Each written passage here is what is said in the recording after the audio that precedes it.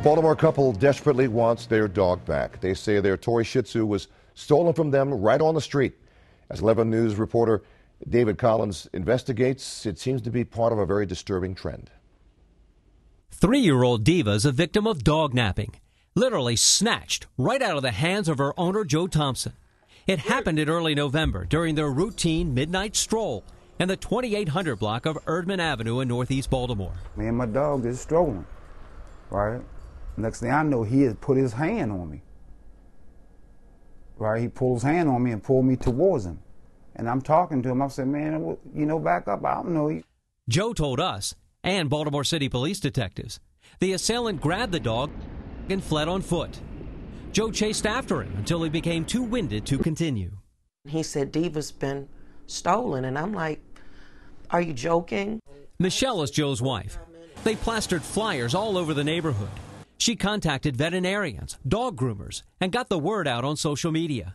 To the Thompsons, Diva is worth much more than the $1,300 toy Shih Tzus fetch these days. I cry every time I see these flyers.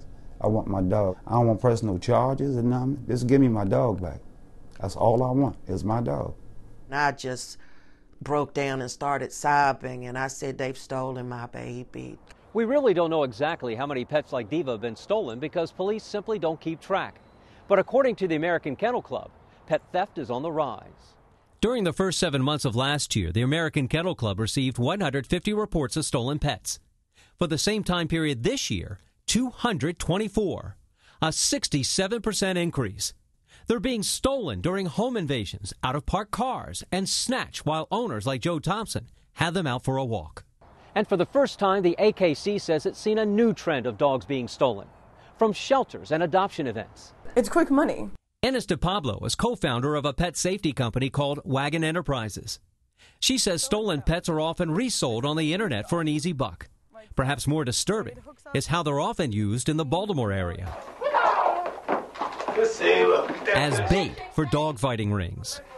It's a really sick thing to say, but they always need prey dogs for the fighting dogs to, to, to learn their killing skills on or their attack skills. So they need bait, and they, they will pay for some of those bait dogs. Last November, Baltimore City Police broke up a pit bull ring on Payson Street. Animal control officers believe some of the puppies recovered were being used as bait. Experts warn pets are also stolen and held for ransom. That's what happened to this puppy named Scrappy. He and his older brother Scooby escaped from their backyard. 21 year old Najee Shabe Walker called the dog's owner, Gloria Chica, saying he found them, but he wanted money for their return. You have to give me $200. Sadly, the ransom was only for one animal. During the dog napping, Scooby was accidentally struck and killed by a car. Walker pleaded guilty to extortion. He was not prosecuted for theft. He was sentenced to 18 months in jail and paid just $65 in restitution for the loss of Scooby. As for the Thompsons, they believe Diva has been sold. And even though I'm getting ready to get another dog, we'll just have two. I want my Diva to come back home. In response to the pet theft trend, dog advocates advise against buying one through Craigslist. Resist telling people how much the pet cost.